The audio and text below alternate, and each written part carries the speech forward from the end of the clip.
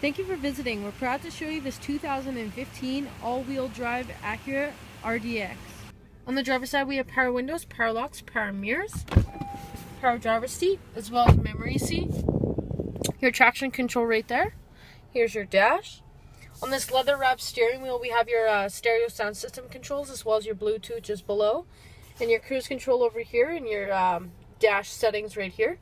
You have your uh, paddle shifters. And in the middle here we have your uh, there's your clock and your climate. Just below that we have your uh, your CD player and your AM and FM radio as well as your satellite radio. And uh, your dial just below that we have your AC, your dual climate control. In here we have your auxiliary and uh, USB as well as a power outlet.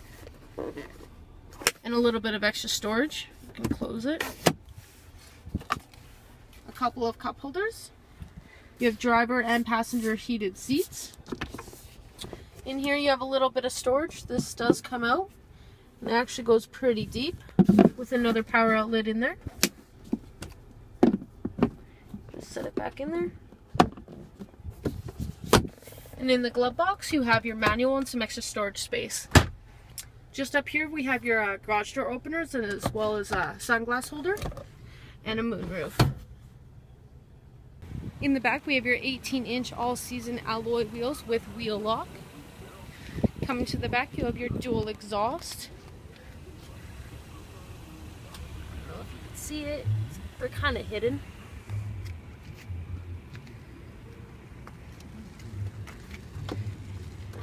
your backup camera right there. Decent sized space. You have your compact spare tire right down here as well as your jack.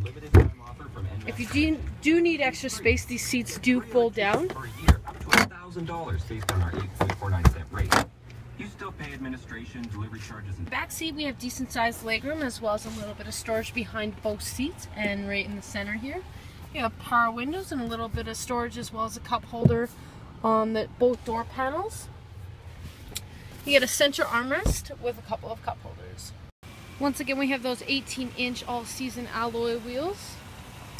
Up here we have your integrated turn signal. Come to the front, we have your daytime running lights along with your fog lights.